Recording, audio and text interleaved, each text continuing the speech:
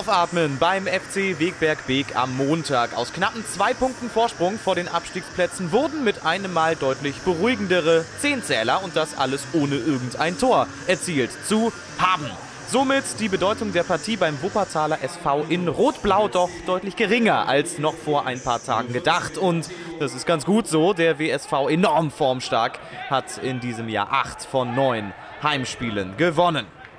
Ja, ja, in dieser Saison laufen die Dinge ein wenig anders. Durch die Annullierung der Oberligen gibt es dieses Jahr nicht mehr wie geplant fünf Absteiger, sondern nur noch einen einzigen. Mit einem Mal haben also auch Vereine wie der Bonner SC und RW Ahlen wieder realistische Chancen auf den Ligaverbleib. Marvin Brauweiler mit der ersten Chance für Wegberg. Ich habe schon erwähnt, im Jahr 2021 spielt der Wuppertaler SV wie ein Spitzenteam und auch heute wieder flüssig, zielstrebig und mit dem frühen 1 zu 0. Saric macht's. Super Kombination, klasse zu Ende gespielt. Semir Saric mit Saisontreffer Nummer 6, aber das ist schon luftig, wie die Wegberger in dieser Situation verteidigen.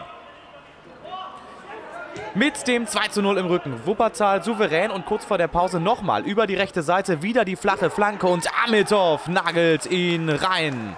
Die Spielzüge gleichen sich. Die Ergebnisse ebenfalls kurz vor der Pause. Legt Wuppertal nach bei Han Amitov, nimmt den mit Risiko und wird belohnt. Danach Pause. Effektive Wuppertaler liegen verdient vorne. Die Gäste jetzt gefragt und das Team von Trainer Marc C. auch deutlich aktiver mit der ersten Duftmarke durch Jan Bach. Patzler hält stark. Der Kampfeswille beim FC Wegberg Beek durch den späten Nackenschlag in Halbzeit 1 keineswegs gebrochen. Hasani legt ab auf Mike Kühnel und wieder ist Patzler da. Richtig, richtig schicker Strich von Kühnel. Wuppertal defensiv jetzt doch das ein oder andere Mal geschlagen. Das ist Hasani und diesmal auch Patzler aus dem Spiel, aber Salau rettet auf der Linie. Schon über 70 Minuten gespielt. Im Stadion am Zoo endlich auch der WSV mal wieder mit einer vorzeigbaren Offensivaktion. Und was für eine! Marco Königs zur Halbzeit eingewechselt an den Außenpfosten. Die Zeit immer knapper für Wegberg, stattdessen aber erstmal Freistoß Wuppertal. Auftritt Semir Saric.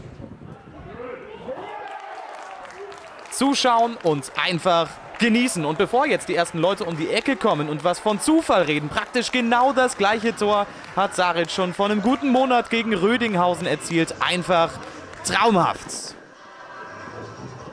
Das Spiel damit gelaufen, die Wegberger gebrochen, aber Wuppertal hatte noch ein bisschen Lust auf Fußball. Bura Genjal ist durch und macht das vierte. Im Winter kam Genjal vom Bonner SC, feierte einen Traumeinstand mit zwei Toren in seinen ersten beiden Einsätzen. Zuletzt der 26-Jährige aber nur noch mit wenigen Spielminuten kann noch ein bisschen Eigenwerbung betreiben. Das 4 zu 0. Der Schlusspunkt einer Partie, die dann doch deutlich weniger einseitig war, als es das Ergebnis vermuten lässt.